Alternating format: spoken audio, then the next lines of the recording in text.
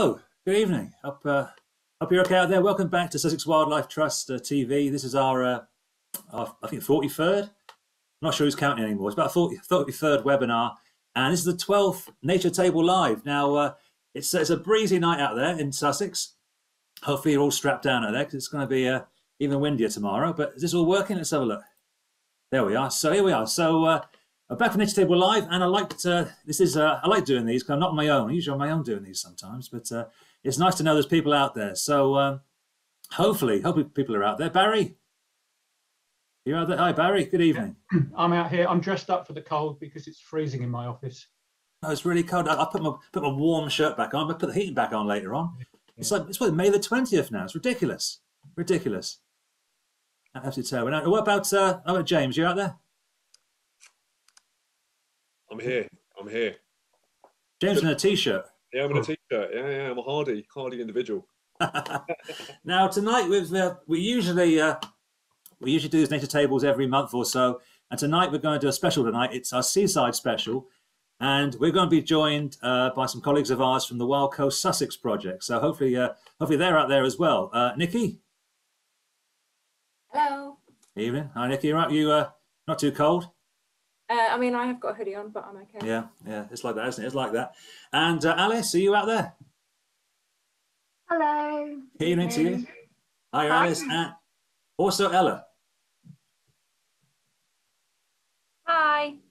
Hi, Ella. Now, some of you may recall Ella did a uh, did a very popular talk on marine conservation zones a while back. We had uh, a very large audience for that, and uh, I noticed the audience has increased tonight. I've got a feeling that um, it's the Ella effect which is doing this. Uh, and also a theory, maybe she has a very large extended family, uh, which is probably why we have so many people watching. But uh, so good evening to you all, and uh, hopefully um, uh, we'll, we'll, take your mind off the storm, which is uh, heading our way outside. Um, now uh, that's we're all pretty cold here, but we always ask people in the in the crowd how they how they are. Now I forgot how to do this. How do I do this? I press polls, and right, um, yeah. So question is, if I launch, how are you? So you can you can vote on the on your screens there. Um, there's your options there. I think you can see those. Um, there you are. So uh, are you waiting for your first jab or your or your second jab or you are you all jabbed up and ready to go? Uh, have you booked your holiday to Portugal yet? I know, some people have. I'm not going to mention any names, but uh, some people have. Um, are you looking forward to giving me a hug? Um, now I know we're allowed to give hugs, uh, but actually it's not compulsory. That applies to you as well, Barry. Doesn't mean doesn't mean you got to. It doesn't mean you got to hug me when you see me. It's an option. Okay, it's an option. And uh, let's have a look. Let's let's uh, let's end the poll. I think most of you have voted now. Well, a few more to vote. And the last option there: Are you waiting for the sun to come back so you go down to the beach? Now, I was complaining for quite a long time how sunny it was and how dry it was, and now I've been complaining for the last few weeks. It's uh, it's just not sunny enough. Now, let's end the poll. Here's the results. There we are. So, uh, so most people are all jabbed up, ready to get going again. That's that's good to know. But there are few people out there still waiting for their first jab. So, uh, so hello to all you youngsters out there in the uh, uh, out there in the crowd. There we are. Look. Um, okay, so uh, what do I press now? I press stop sharing the. I don't know. I press okay. Press that. I, have forgotten already how to do this. Look, and oh god, it's still not working. There we are. And also, yeah, just to point out, there's a little Q and A function on the screen. And as I always say each month, uh, you're welcome to type your comments and questions. I can't guarantee we're going to answer them. I know Barry always has, a, has a little look, don't you, Barry? Uh, we'll try we'll try and answer some questions as we go along, but it's, it's, it's very hard to do a webinar and answer questions at the same time, despite how talented I am at these uh, these webinars now. So before we go any further, I thought I'd just uh, we'll hand over to Nikki, perhaps have a chat about uh, about Wild Coast Sussex, about uh, who you are and what you do. Yeah, uh, thanks, Michael. Um, it's a really exciting project. We've got a really nice uh, partnership working on it. So Sussex Wildlife Trust are working with Marine Conservation Society um, and Sussex IFCA, so they're the Inshore Fisheries and Conservation Authority, and Brighton Sea Life as well. Um, all funded by the National Lottery Heritage Fund. So thanks to any of you uh, lottery players out there. Um, so we're going to be working with communities all along the Sussex coast um, just kind of trying to kind of connect again to the coast um, in lots of different ways. So thinking about the kind of benefits that we get from the coast. So just sort of, you know, if you go down to the beach, uh, just for that kind of de-stressing walk. Um, and then thinking about all the things that we might be able to do as a kind of thank you to the beach and sea um, for all those benefits that we get and kind of giving back. Um, so beach cleans and things like that. So we're going to be working with schools and youth groups, um, fishermen, uh, and recruiting hopefully lots of new volunteers as well. Fantastic, sounds great. Now, just uh, I was looking on your Twitter feed uh, earlier on, uh, Nikki, and uh, so this was this was a, few days ago. So what's this? Um, what's going on here? Yeah, so um, as part of the project, um, we want to try and leave the seas cleaner. So we were hoping to um, find ghost gear and remove it from the sea. So uh, if you don't know what ghost gear is, it's basically um, any fishing gear that has been uh, perhaps lost in the sea. Um, there's some there. Um, it can sort of carry on um, entangling wildlife because it was designed to catch fish. Um, and it can also break down into microplastics. So it's not very nice if it's left in the sea. Um, so we are working with another charity called Ghost Fishing UK. Um, and on Tuesday, I was lucky enough to get to go out um, on the boat with them from Brighton Marina. And we went to one of the local wrecks. They'd had some reports that there was some ghost gear on the wreck. So they did a, a survey dive and then they went down um, again and started kind of getting some of this net off and sending it back up to the surface. And this is um, what we collected on Tuesday. And they were out again on Wednesday and got a whole other big bag just like this. Um, so really great uh, way to get the, the seas cleaned up.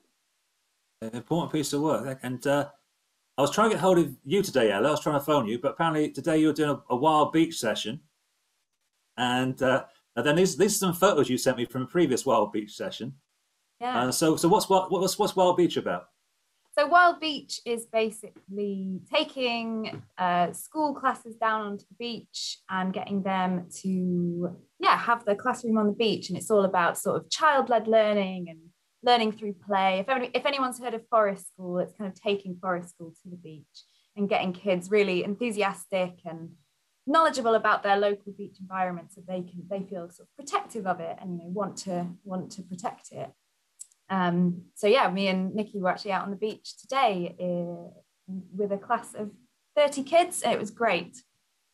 Did a bit of rock pooling. It was so nice to get out and see their faces being excited by some crabs and things. So why is there a fish head in a bucket? why is there a sea, uh, fish head in the bucket? So this was our last class we had on Brighton Beach, and the kids found these there was quite a few of the bones and the tails. Um, and then we found this big fish head, which I think is a sea bass. Um, so, you know, put it in the bucket, um, had a look so they could see, you know, what fish head looks like. I think its eyes had already been eaten. Um, and then we put ah. it back on the on the shore and they got really excited because a big um, great back black back black backed gulls started eating it and they were extremely ex- excited it was like yeah Really and I've got, got, some more photos of things. Isn't, isn't all fish heads? I mean, some photos that Nikki sent across. Uh, so, what are these? Uh, these grapes things? Uh, so there's some cuttlefish eggs that we found um, on a wild beach session last week, I think. Um, so yeah, they get washed up on the beach sometimes. They're meant to be kind of wrapped around things on the seabed um, so that they can grow these tiny little baby cuttlefish inside. They're very cute. Um, and we pop them in the bucket in the hope that they might uh, be ready to hatch out and then we could um, sort of release them back into the sea once they've hatched. But these ones didn't, so we just pop them back in a rock pool and hopefully um, they've hatched out now, and there's little baby cuttlefish. Little cuttlefish, lovely. And uh, now I know these these are mermaids' purses. I know these from when I was a boy. So, and you still find these. I found these in the, back in the seventies, but they're still going. Are they? They haven't gone out of date. yeah, still finding them today. So uh, yeah, egg cases of um, skates and rays and sharks uh, that we find on the Sussex beaches. Um, and if you do find these, you can report them to the Shark Trust, uh, and that really helps with sort of shark conservation. Um, so, yeah. Brilliant. Um, here's a photo that you sent me, Alice. Another another part of your work. So what's what's going on here?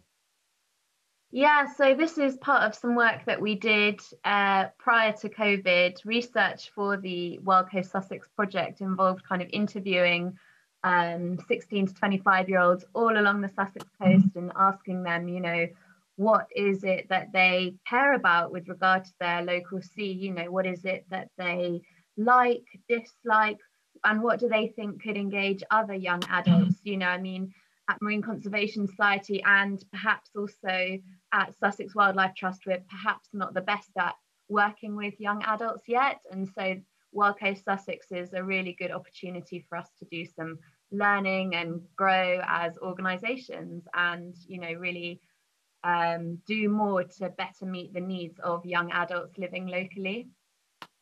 Brilliant, excellent. Well, sounds like a very exciting project. Now, how long is this project going for? It's a few years, isn't it? Uh, yeah, we're funded for three years. Brilliant. Okay, hopefully there's plenty of opportunity to engage with uh, everybody along the coast uh, in the next three years. So uh, more details uh, later on. Um, and just speaking about the coast, uh, just a bit of news. Now people are always asking, uh, but the Rye Harbour Discovery Centre, what's the update, Barry? Is opening soon? Yes, it should be open next week. This week we've we've been busy um, receiving groups of our volunteers to um, start training them to work from the centre and to work around the reserve. Um, it's a very complicated building. Um, it's a lovely space inside, and it's going to be great at engaging with more of our um, visitors. Um, there's the view from inside looking out. So the, the, the, windows look over the large salt marsh recreation project. And today there were avocets and little egrets just out there. And we're expecting that people will come um, and, and sit in here and spend a bit of time and hopefully they'll find the information they need to go out and find out more about Rye Harbour Nature Reserve. Yeah, talking about spending a bit of time inside the visitor centre. I came to work on Monday, uh, Barry, and uh, there was no one at work. Everyone, as I, no one's answering emails or phone calls, and it was a uh, the staff had been invited to like a VIP open day at the um, at the, at the Discovery Centre. Um, I hadn't been invited. I mean, I, I guess you were there, uh, but you imagine my, my horror when I found out James was there as well. You were there, James, weren't you? I was. I was. Anybody was there, Michael? Yeah, apart from me, I didn't get an invite, and I, am not sure what you had to do to be a VIP to get an invite to this little uh, uh, this little soiree. But uh, I was sat I was sat in the office uh, doing my spreadsheets and stuff. So I hope you, hope you had a nice. You think you think being um, the community hero for Robertsbridge, as I mentioned in the last uh, Nature Table Live, you think that'd be VIP enough? But obviously not. I don't know what you've got to do to get in. I, I think, Michael, you need something to do with the coast in your in your job title. yes, so the plan for the yeah okay maybe next maybe next time. Well, hopefully one day I'll, I'll come down. I should I will be allowed in. I probably I probably have to queue up with all the other punters to get in, wouldn't I? So uh, I don't know. Um, anyway, so those you haven't seen uh, Nature Table live before, we do have a Nature Table Facebook page, and we ask people to send in their photos and, and sightings. It's a very lively page, and uh, everyone's welcome to join. And uh, what I do every month, I sort of, uh, I unashamedly just go through and pillage all your photos and sightings and turn them into a, a webinar. So uh, I've chosen uh, over the last uh, over the last month, we've chosen all the all the coastal, all the marine sort of sightings on the beach sightings, and uh, let's see what you've been seeing over the last last few weeks. Well, Helen was very lucky walking down by Waltham Brooks to see this common seal hauling out of the water. Look at that. So uh, as you as you know, watching some of our webinars, lot, a lot of these common seals do find their way uh, up the rivers. And also Sarah. Uh, Sarah managed to uh, get some lovely photos of uh, probably what I think is probably the most laid back seal I've ever seen. Look at this um, this common seal here uh, by the river. Look, looking pretty relaxed. Looking pretty relaxed there, especially in this um, this picture here. Look at that. Really, really reclining there. I just I look at just that looks like it should have a had a pint in its hand, be down the pub. Look, so I managed to there it is down there. Look, you can imagine now the pubs are open. Imagine that guy propping up the bar somewhere. But lovely to see uh, a seal in, uh, in one of our rivers. And uh, now John uh, is a regular uh, uh, takes photographs and sends them on the website. He's, he lives just down by Pevensey Pevensey Bay. he's got a picture here of a, of a grey seal from his. I think John lives right on the beach, so he's always some lovely photographs from the from the coast. There's a grey seal with a big nose there. So I always think to me, it's grey seals look like dogs and common seals look like cats. That's, that's the way I tell them apart. But uh, I'm sure it's more scientific than that. Um, here's no, another mammal that's uh, John. There isn't, isn't really a coastal mammal, but uh, there's a there's a fox running down along the beach there, and also uh, Well, John Fogarth, this is a bit of a sad story of a porpoise which was stranded um, and uh, down there near, near on the bay there. Whoops, what's happened here? My, my oh, that's it. And uh, unfortunately, it was uh, the East Sussex Wildlife Rescue were called, and the British Divers Marine Life Rescue were also called. Unfortunately, it didn't survive, but uh, um, it's amazing to think these animals are out there. It's a shame that uh, sometimes the only chance you get to see them is when they are kind of a bit too close to shore. But um, so anytime if you do see any stranded uh, animals out there, please uh, either give us a call at the Wild Call Service or call the local wildlife rescue services. Send the professionals in to try and help. Now, um, here's something interesting. This is a picture which Alison West sent in. Now, uh, she saw it on Winchelsea Beach, um, and she Googled it, um, and she thought it was an American horseshoe crab. Now, she never Googled anything because uh, uh, it can lead into, into, all sorts of trouble when it comes to wildlife identification. Uh, I can see what she means. I know what horseshoe crabs look like with those big sort of tails. But um, what's happened here? What's the thing? There we are. Uh, then other people, though, sort of commenting, uh, Cornelia said, "Is it a masked crab?" And a few people said, "It's a is, is it a masked crab?" And I've never heard of masked crab, so I googled um, masked crab, and this.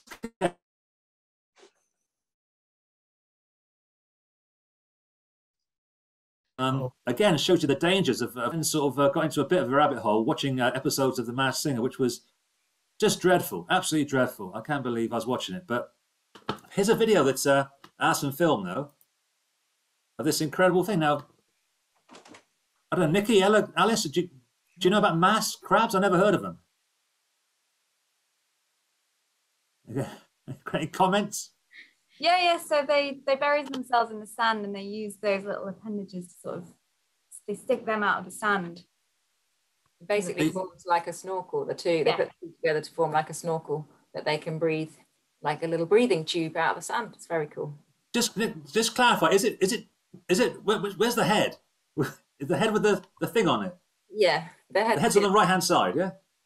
yeah, the bit with the kind of unicorn horn. All right. Okay, I can see. All right.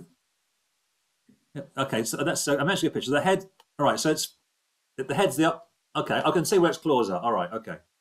You can see my expertise on uh, on on crabs. I'm not too sure which way it's facing. Michael, Michael, yeah. on that image, can you see that there's the, the shape of a face on its back? Oh, that... oh, yeah, a nose and two eyes. Yeah, yeah, I see that. I think that's where it comes from. The name comes from. I might be wrong, but that's what I thought. That's a uh, wow. Yeah, now, now I've seen it, I can't unsee it. It's quite uh I recognise that face from somewhere. Just remind me of someone.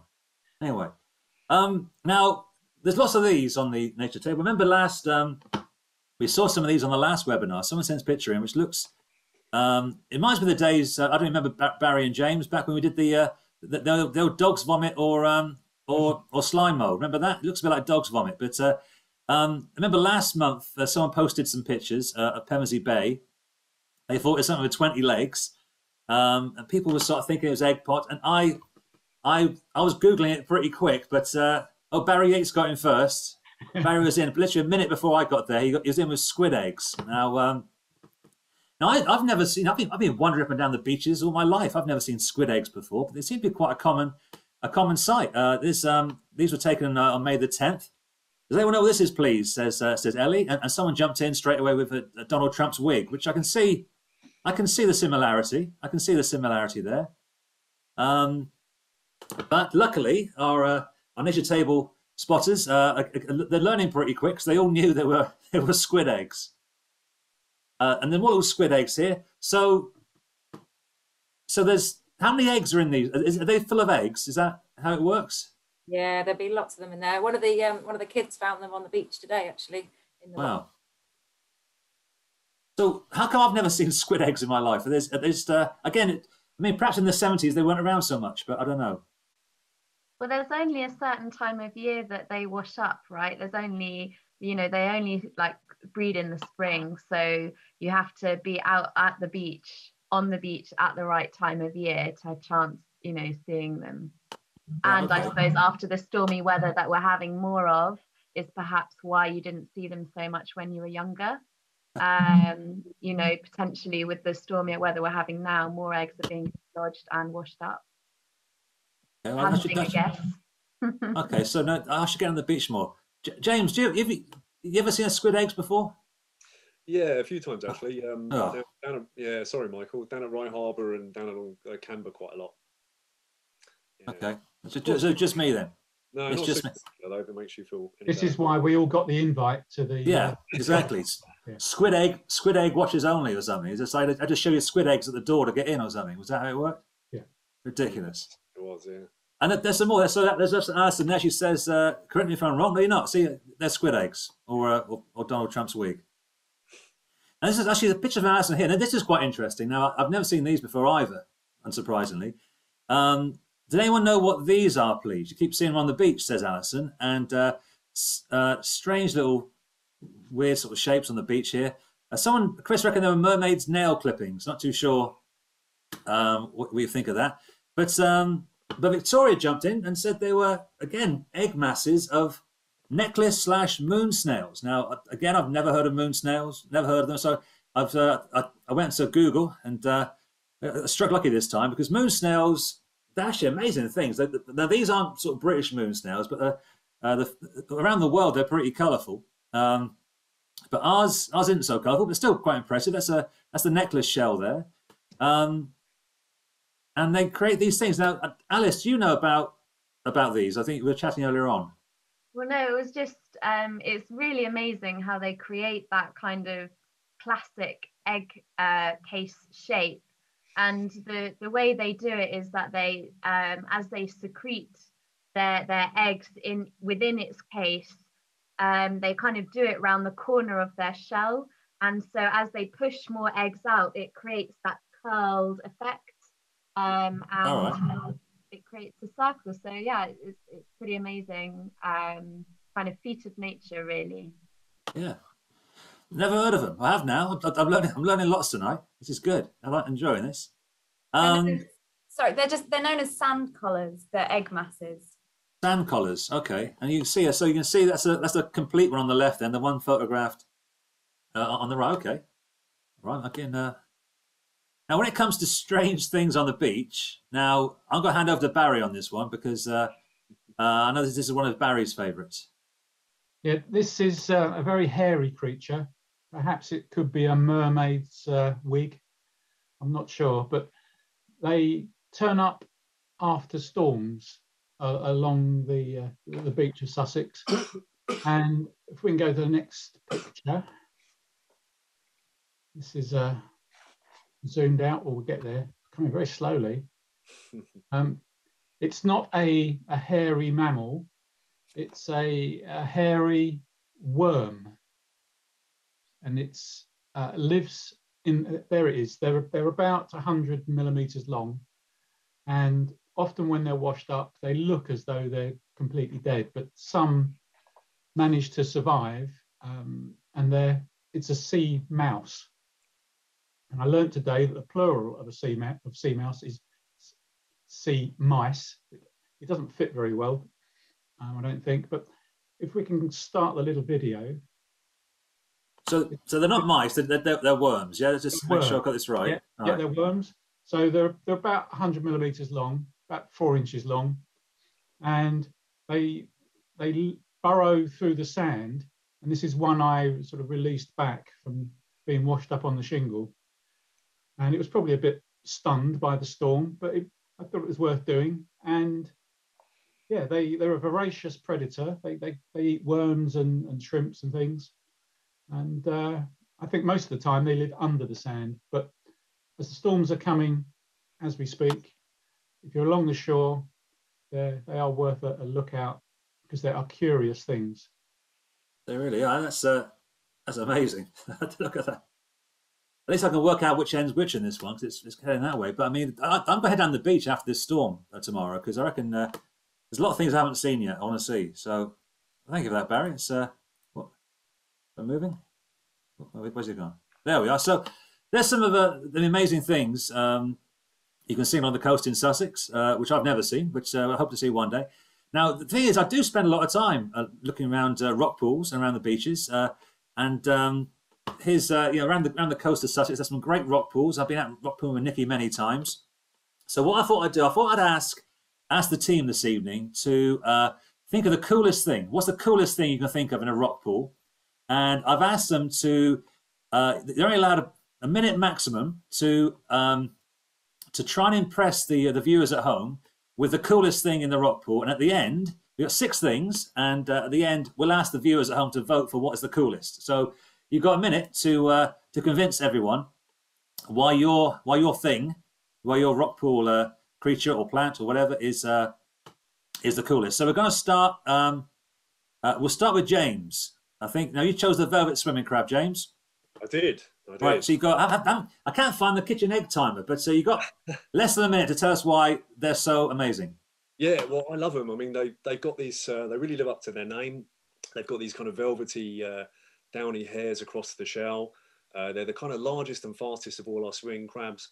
And actually, you can't really tell in this photo, but they've got this beautiful, sort of striking uh, blue coloration on the claws and on the legs and on the shell. So why haven't you got me a photo that shows that, Michael? Where is it? Where is that photo? it's quite a dirty crab I got there. Look, sorry, bit muddy. Exactly. This is terrible example, folks. There's normally a lot bluer. There's a lot of blue on them. All right. Okay, um, time, James, time's up. Time's up. We've got a very muddy crab there, James. No one's oh, going to vote for that. It's too muddy. It's muddy crab. You took my lovely eyes. Come on, yeah, devil, devil crab, devil crab because of the red eyes. And I have to say, folks, as well, you know, if you take a bit of pleasure in other people getting bitten by crabs or nipped by crabs, this is the crab that's going to do it for you because they're really feisty. They're also known as the fighter crab. I absolutely love them. I mean, it's brilliant. What could be better than other people getting nipped by crabs? Come on, everybody.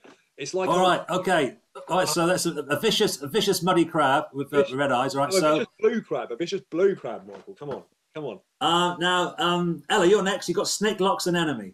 Yeah, so snake locks anemones. I think they're really cool. They've got um, well, like all anemones, they've got ten- tentacles, but they never retract them. So even if you see them out of the water, they've got their bright green tentacles out up to 200 of them. They're often bright green with purple tips on the tentacles, which you can kind of see in this picture.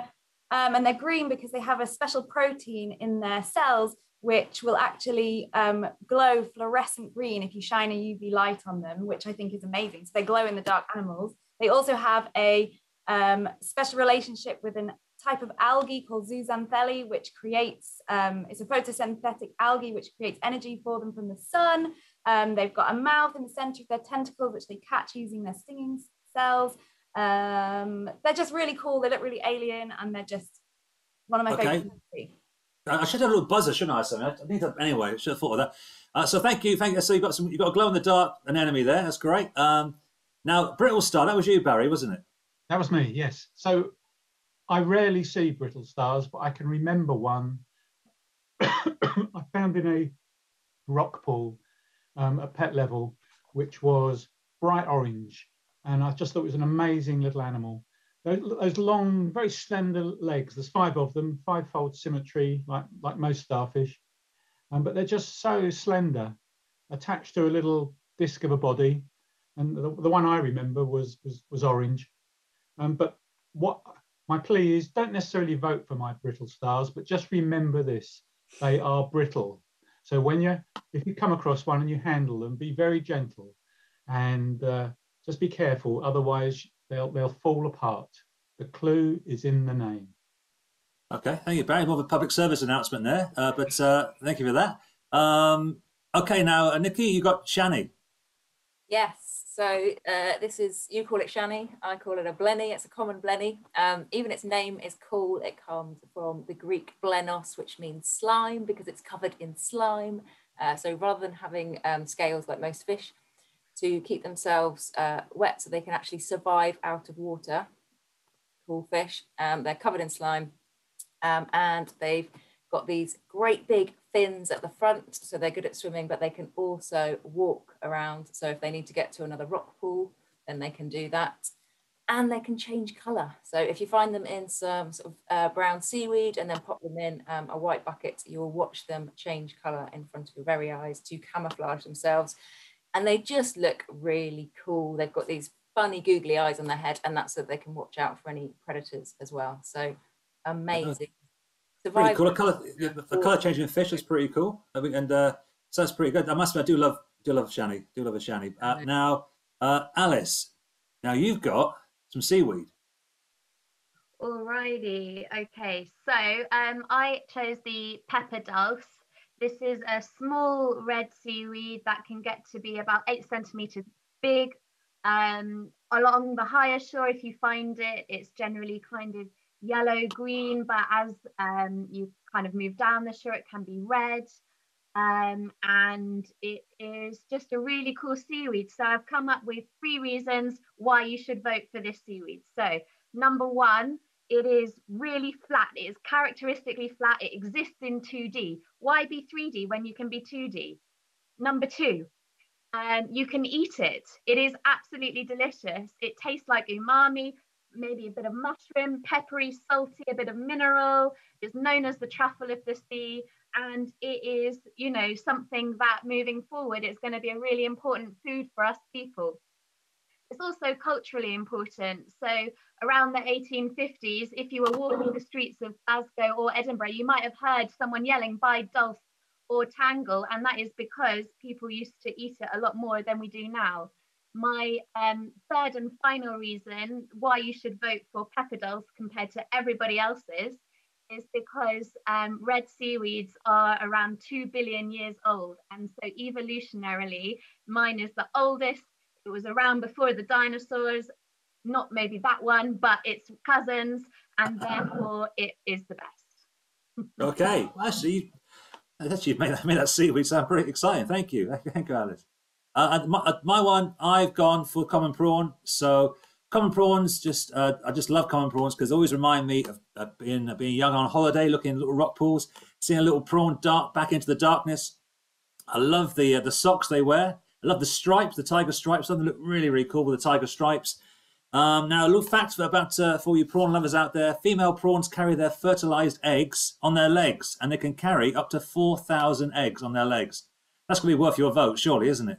Uh, and and finally, as you can see, they also have laser laser eyes. They can actually they kill their prey. They can, they kill crabs and, and sharks and whales with their laser eyes.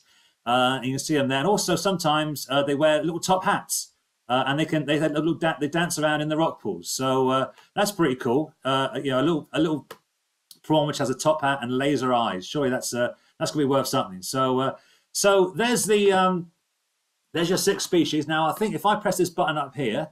I can uh, well, do this. So here we are. Love this works. Now, now's the time at home, folks, for you to uh, to vote. Now, uh, we launched that. There we go. So it was uh, James's Velvet Swimming Crab. Remember, it's a bit muddy, as you remember. It wasn't uh, wasn't too colourful.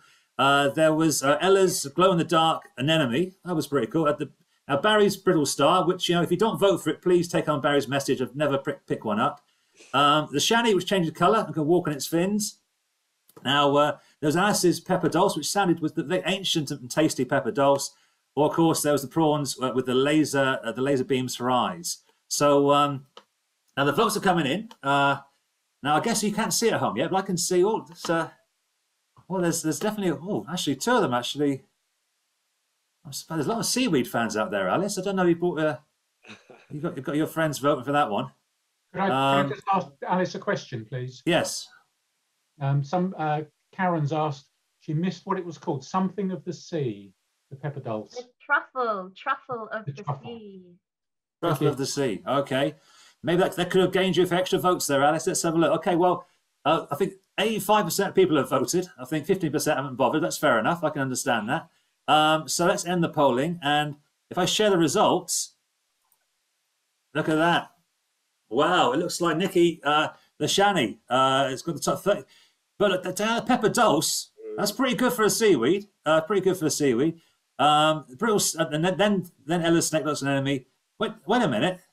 Okay, I, I, thought I was last for a moment there, but luckily uh, uh, the prawns just beaten the brittle stars and the velvet swimming crab. I must admit, it wasn't the best velvet swimming crab picture. If I chose, uh... you ruined mine. You ruined mine. you were robbed. James was robbed. Is this revenge for Rye Harbour Discovery Centre? I think exactly what it is. It's exactly what it is. It's strange how it's strange how both uh, both Barry and James uh, ended up at the bottom. Uh, without teacher, next time invite me to the Visitor Centre. That's what I'm saying. Next time invite me. You may have more chance for a better photo. Okay, well thanks, folks. Well, that's um, that's the, uh, that's the that's the Rockpool interactive part of the show over. So uh, let's uh, we'll move on. Now where are we going? Whoops. No, no, look. You will see that. Okay. Okay, right. Stop sharing results.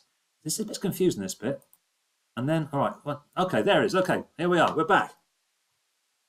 Right now, uh, I did ask uh, when we planned this little webinar. We do plan these things, by the way. I know you don't think that we do, but we do plan these things. Uh, I had a chat with the uh, the Wild Coast Sussex team, and they said they wouldn't mind highlighting some of the fantastic endangered species um, around the uh, around the coast here. So I asked them to pick uh, kind of, kind of six species to talk about. So I'm not sure who's talking about what, but uh, I hope we've got the right photo. So uh, uh, Undulate Ray, who's uh, anyone to say something about that? Sure. Um, yeah. Well, you go for it, Mickey. Well, we'll both do it. It's fine. I mean, I just love these. I think they are the most beautiful rays that we have. Really incredible. Um, and they can be found in some of our uh, sort of offshore marine conservation zones around Sussex. So they've got some good habitat for them there, the kind of sand and gravel beds that they like. They make sort of good hunting grounds for them.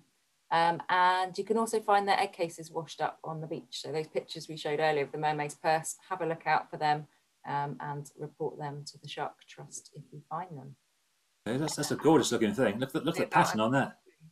I, I, can see I can see a face there as well, Barry. I think I just work out a little. You can. I can see. I can see a face there. I can see a face in most things, to be honest. Now, I, now look at this. Now, I, I, couldn't believe when I googled this this thing to put a picture up. I, I couldn't believe this was actually off the coast of Sussex. But uh... well, that's the thing. Sadly, not anymore. They used to be widespread a lot around Europe and Africa, but basically now they have a very um, small distribution because they've their numbers have declined so rapidly. They are um, classed as critically endangered on the IUCN red, red list of endangered species. So that's kind of the most critical category that something can be in. It means, you know, they are at risk of extinction in the near future. Um, they're actually thought to be regionally extinct in the North Sea, for example. Um, and basically, commercial fishing over time has caused their numbers to drastically decrease um, through basically like trawling bycatch. So they like to, you see from their flat bodies, they like to just hang out on the bottom of the seabed. So it makes them very vulnerable to being um, caught by big trawlers. And that has, yeah, decimated their numbers, sadly. So it's unlikely to see them around here anymore. Wow, that's really. Uh... The last reports were in the 90s, a fishermen saw them off the coast of Sussex. There you go. The kind of thing I write books about this. This is really quite uh, quite depressing, but uh, yeah, it's amazing, amazing looking thing though. Incredible. Okay. Yeah, absolutely fascinating. Look at this. Look, short, short snouted seahorse. Anybody? Yeah. Any takers? short snouted seahorses. Yeah, yeah. So you can find these. Definitely find these in Sussex. Although I never have. I don't know if any of you guys have ever seen one. No. There are apparently absolutely loads in Brighton Marina. Apparently they love it there and that's where loads of records come from is um, yeah somewhere that you know we might think of as being quite kind of uh, humanized and impacted but seems to be somewhere they like to be I, I, I, I, think I may have seen a seahorse when I was young, but um, well, it's been a long time since I had the pleasure of seeing a, a seahorse. Maybe I could go to Brighton Marina. I think that's where I need to go. Um, now, here's one. Here's a face we saw earlier on. Another very relaxed uh, common seal.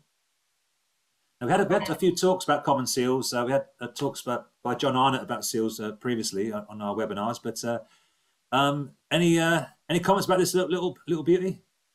Uh, can I butt in? Oh, Barry.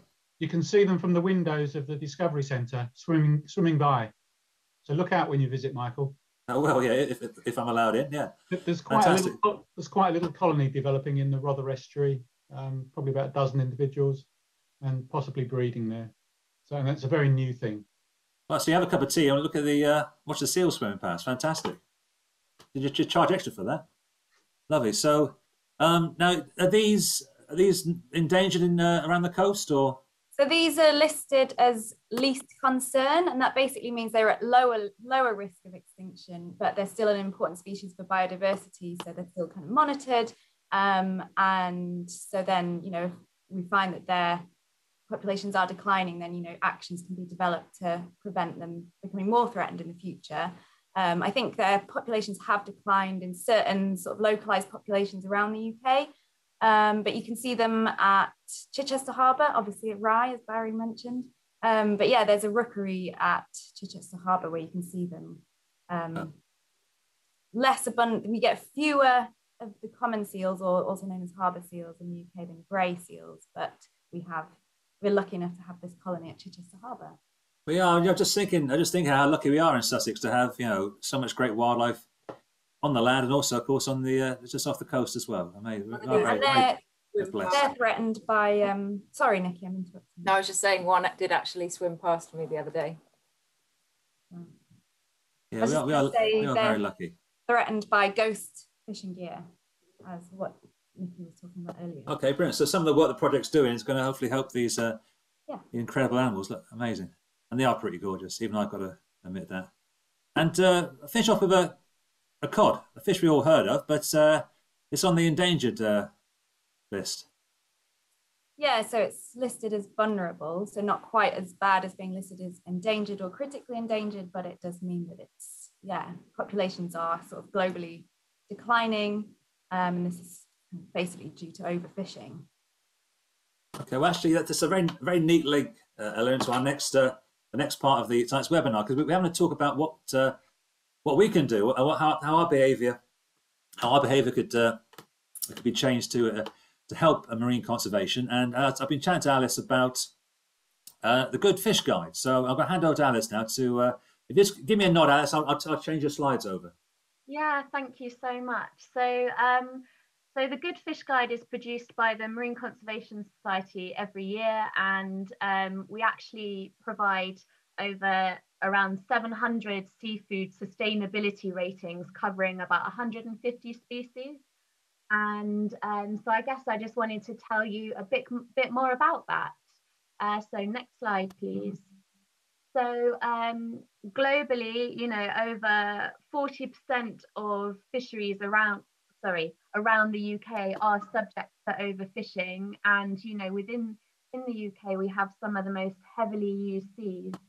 Now, when we think about fish, we have two kinds of fish that we eat. We eat wild caught fish and we eat farmed fish. And the sustainability of wild caught seafood relies on three main factors. Firstly, being the kind of the size and the health of a fish population, which is what we call a stock.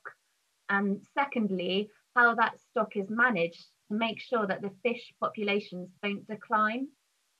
And then thirdly, the impact of that capture method, such as um, trawling or potting, actually on the seabed or on other creatures which could be caught unintentionally, which is known as bycatch. Um, so next slide, please. Um, so we created, we create the Good Fish Guide because we recognize that there are, you know, social and economic implications around catching fish you know, and, and globally, billions of people rely on seafood as their only source of protein. You know, if you think about the Arctic, where, you know, it's not so easy, or, or, or communities living in very cold places, it's really hard to get protein any other way other than from the sea. And also, you know, in, in tropical places too. Um, so in the UK, we are a big importer of seafood. We don't eat most of what we catch. Um, and you know, arguably um, sustainable aquaculture, so that's fish farming, is the way forward. But there are a lot of ways that it can improve still. And in the UK, the seafood industry represents about 14,000 jobs. Okay, next. Thank you. Um, so with the Good Fish Guide, we um, essentially do all these things to try and help people make better choices about the fish that they eat if you choose to eat fish. So next, please. Um, so the Good Fish Guide rating, sorry, I, I should have said, the Good Fish Guide um, scores um, all the fish that we, we can, with um, one being the most sustainable and five being the worst. And so actually the same fish species can receive a different score depending on where they are caught and how they are caught. So for example, in Sussex, a plaice caught by otter trawl scores a two, but a plaice scored caught, a plaice caught by beam trawl actually scores a three because beam trawling has a greater impact on the seabed. So sorry, I think I've just got myself a little bit turned around, but essentially the Good Fish Guide is having a really helpful impact on big kind of supermarkets and other retailers. Next slide, please. And it's something like one in seven fish meals sold in the UK has gone through the Good Fish Guide rating system. So that's really good. So sorry to have gotten myself a bit mixed up, but this is what I was describing when I said that we give it a um, traffic light system. So red is avoid, orange is think about, and green is a better choice. So for the plaice that I was just mentioning, you know, uh, the, the, the Otter Trawl Caught plaice, that scores a two, that is a better choice. But the three score, that is not so good, and maybe think about that. Next slide, please. So obviously there are fish caught all around the country, but because we're talking about Sussex, we're with Sussex Wildlife Trust, let's go local. So great option if you're if you want to buy wild caught fish is the Dover sole for you know supporting local fishermen. The stock is in a really healthy state and it's not being overfished. Locally, herring is also an okay option, but it needs improvement as the stock is currently okay, but decreasing and it really needs more management. Um, and you know, I, I, do have to say that with the Good Fish Guide, there are some species that are scored a five, which is red rating, regardless of where or how they're caught. And that is because they may be endangered, such as the European eel. So, you know, please don't eat that, guys. And many shark species as well. So you might go to a restaurant or get your fish and chips there, and you might see huss or, or rock salmon on the menu. That is actually um, a kind of uh, local shark that we have, and that is um, an animal that we really don't want to be eating. Farmed, if you're, if you're interested in farm species, mussels are really good um, from the UK, also farmed scallops, um, and uh, yeah, halibut are probably our best and easiest kind of fish to, to think about. So I just have a final quick um, kind of tip really for you all about, you know, when you're thinking about if you want to eat seafood, what you're going to eat, um, and, you know, mix it up. Um, 80% of the seafood that we eat in the UK is just made up of five species cod, haddock, salmon, tuna, and prawns. And this puts a lot of pressure on only a handful of species, which leads to really unsustainable fishing and aquaculture practices. So mix it up, break out of the box, try something new, like farm shellfish um, and so on. Definitely avoid red rated seafood. You can check it out on the Good Fish Guide website. Think about the impact of the um, fishing methods that you um, are, are, are eating. I don't have enough time to talk about that tonight, but there again is more on the Good Fish Guide website. And if you're really stuck, you don't have your phone with you, you can't look for the Good Fish Guide rating of the fish that you want to eat, check for an eco label, label, okay? The Marine Stewardship Council, the Aquaculture Stewardship Council, organic, best aquaculture practice, anything that can make it better um, is something at least. Fantastic. Th thank you. As it, it says down to us now to take responsibility for this. Now, I'm, I'm quite bad. I don't, I don't actually eat much fish, but I did recently started in Dover sole, which uh, which is absolutely lovely. And uh, actually, I've, I do not feel too guilty eating it now. So it's uh, so thank you for that. But it's certainly Pleasure. something to bear in mind, folks, when, when we're out uh, shopping, uh, what we're buying, because it, it, now's the time to start taking taking action and changing our behaviour. So uh, so thank you for that. And and so good the good um, the good fish guides on. You find that online everywhere. You just Google that, and um, yeah, that's right. And coming soon to the Good Fish Guide is um, a barcode scanner. So the supermarket own brands, you'll be able to know instantly whether it's a good choice or not. Great, great idea. Thank you, Alice. That's great. Now, uh, I look back. Let's look back at some of the photos from the from the Nature Table Facebook page. Now, just I just put this here just for any entomologists out there because uh, which are taken by Thomas of uh, quite a rare a rare wasp. Uh, Therascopus hemipteron. This was found at Rye Harbour, Barry. Were you, uh, were you aware of this? I was aware that Thomas was here and he met up with Chris Bentley, our in-house entomologist, okay. and they, went off and uh, I hadn't heard what they found, so good, good, news. Yeah, it's just a, a, very so yeah. It's a, it's a rare wasp they found on the, on the seaweed over there. Uh, of course, around the coast, um, some fantastic birds uh, nesting and uh, traveling uh, past the coast. Um, here's a lovely photo by James of uh, an oyster catcher chasing off uh, a raven over there at Rye Harbour. And I couldn't, had, I couldn't resist putting this picture in by James of not really a coastal bird, but you do see them around the coast when they if you're very lucky, uh, this is one of the uh, the hoopoes, which were there's quite a few, quite a few. There were a few seen in the last few weeks. Rottingdean, here's one, here's one at Rye. Look at that, uh, very extravagant, extravagant bird there. Uh, here's John uh, taking more photographs down at, uh, at Bay. These gorgeous looking uh, godwits moving uh, from, uh, from Africa, heading heading further north and just passing by Sussex. As are these these Whimbrels. Um, kind of like a smaller version of the curlew. And uh, of course, a bird we're all familiar with. Now, I know that some people don't like them. Don't know why. Uh, people, it's funny. People move to the move to the coast, move to the move to Sussex, and uh, to be by the sea, and then they complain there's seagulls here. Never, never understand that. But uh, Sarah's a fan. Um, I never get bored with their antics, says uh, says Sarah. And here's one here in her, in her back garden. I love them. Absolutely love them. Um, nice picture here by Vicky, uh, a great crested grebe uh, taken uh, just a, a, few days ago, so back in April, sorry, uh, out on the sea. She was a bit confused because these birds you usually see, of course, on sort of freshwater lakes and inland, but you see quite a lot on the sea in the in the in the winter. You see a few from Rye Harbour, I'd imagine, Barry. Yeah, in Rye Bay, in the early months of the year, there can be several hundred out there. Wow. And there, I, I saw some today and, and in the past I've even seen them displaying on the sea. Really? Uh, that's that's very unusual, but yeah, they're regulars. Anywhere there's fish food. Okay. Uh, some pictures taken by Vicky here uh, of some of the birds along the cliffs. Here's the undercliff at uh, Saltdean, the, the rock pipit, uh, which you'll see along there.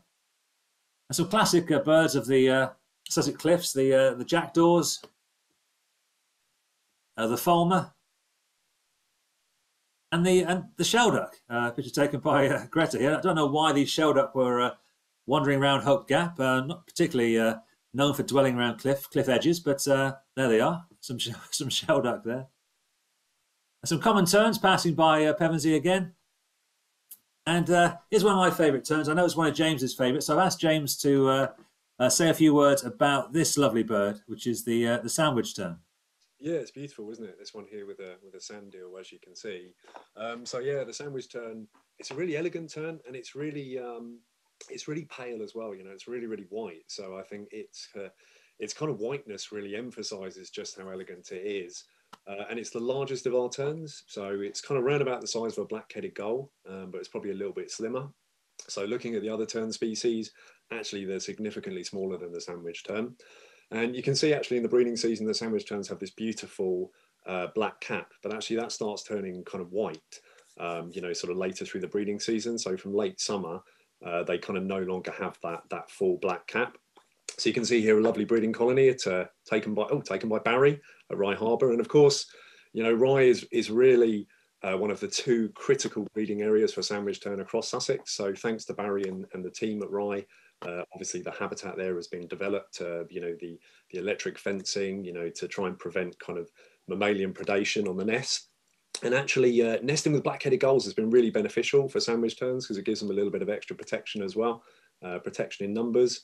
So you can see they're very distinctive. They've got a really distinctive black beak with a little yellow tip, um, which makes them ah look at that. They're fun. when they're displaying when they're together as well. You you, you get this kind of wing drooping, um, and you know with sort of uh, kind of erecting those crests as well, and they just they're they're really elegant, aren't they? Really beautiful.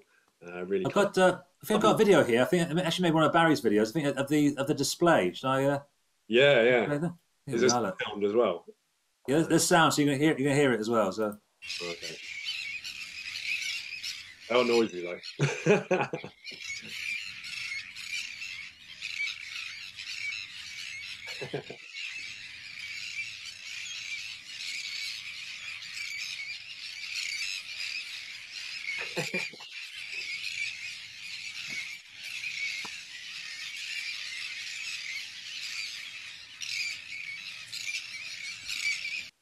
They're real posers, aren't they? Real posers. but uh, it's interesting actually because although they are a really pretty, really elegant tern, that call is it's pretty grating to be honest with you. I mean, out of all, you know, it's by far the yeah, by far the scratchiest really of all. Real nails down a blackboard sort of thing, isn't it? Yeah. Really, uh... It's, it's not very nice, but it is very distinctive, and it makes them very easy to uh, you know to pick out when they are fishing. Um, they do tend to um, they don't tend to hover when they're fishing in quite the same manner that you see uh, sort of common terns doing, but they often when they plunge they often will sort of be underwater for for slightly longer, uh, whereas the common terns tend to sort of you know dip in and out like not not in marsh tern style, but they do tend to kind of you know come in and out a little bit quicker. Um, but yeah, I mean the calls often kind of alert you to their presence, you know, right the way along the south coast if they are out fishing. Um, but as I say, really the two kind of core breeding areas, you know, uh, over at Rye and then right over the other side of the county. So yeah, lovely, right. really, really lovely. Nice. Thank you, thank you, James. Thank you for that. Um, now, now I have a message from our uh, from our sponsors here. It's uh, a slight uh, an advert here. Uh, the Wildlife Trust 30 Days Wild starts in uh, uh, uh, first of June. So we encourage people to get out there and do something wild every day for a month. So uh, I've got a, little, a, short 30 second video. So I'll just play that. Here we are. To give you some ideas of how you can go wild in uh, in June.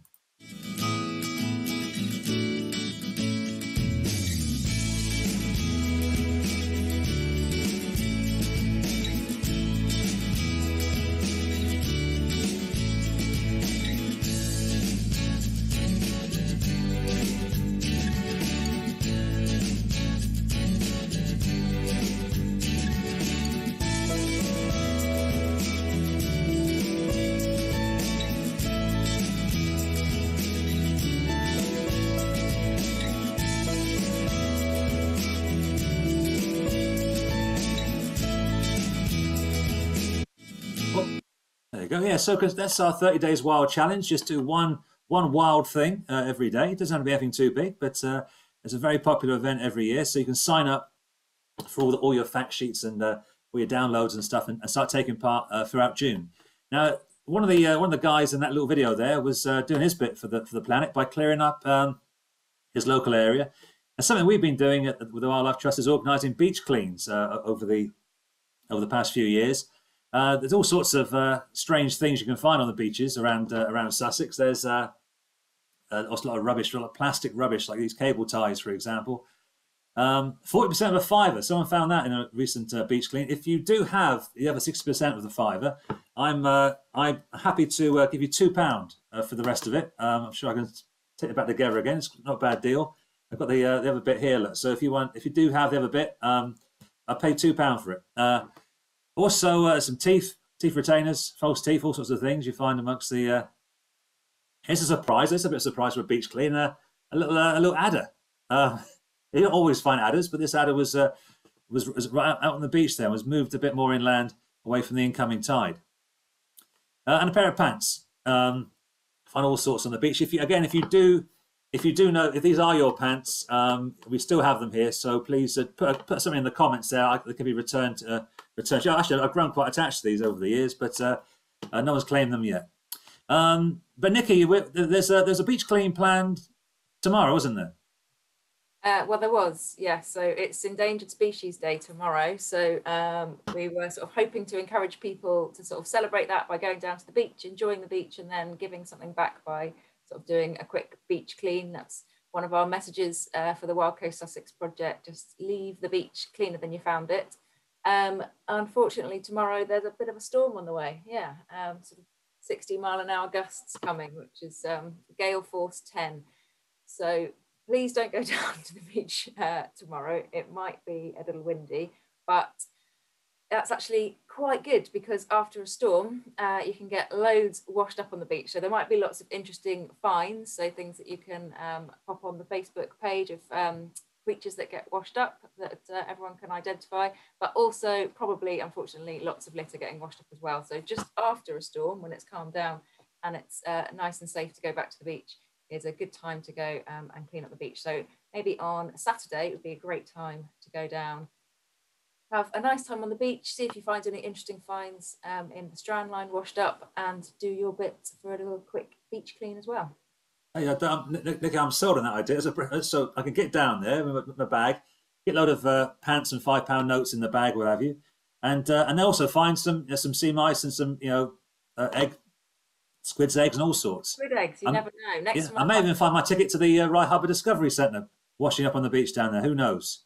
Who knows? yeah, but um, find. Put it on the Facebook page. Just uh, send it to us on social media. That'd be great. yeah, so get out there, guys, and start cleaning up the clean up the beach. And yeah, as Nikki says, let us know what you find uh, stick it on the Facebook uh, Nature Table page. So uh, nothing you can do for 30 days wild. You, you can uh, you can join us uh, on next next month's Nature Table. I always put these these Nature Table pictures up here without actually asking anybody if they're going to be around on uh, June the 10th. So I'm not sure. Are you going to be around, James Barry? Are you? Yeah. Okay. Around. Yeah. I should perhaps run it past you first, but uh, um, anyway, we'll be back uh, on a 30 days wild special uh, on uh, uh, Thursday, June the 10th. Uh, and I'm doing a talk uh, on June the 22nd, which uh, I optimistically said will be the day we're all allowed, allowed back out and to go wherever we want and the pandemic's over. Uh, I thought, I'd, uh, as I say, I was here at the start with my nature diary on day one. I thought I'd be here at the end. Uh, maybe it won't be the end on June the 22nd, who knows? But um, I'll be here anyway. So uh, if, we're, if we're back in lockdown again by June the 22nd, I'll be here. A talk for our, for our members, a tour around all the nature reserves uh, of Sussex, a very quick race round of the 30 nature reserves uh, on, on June the 22nd.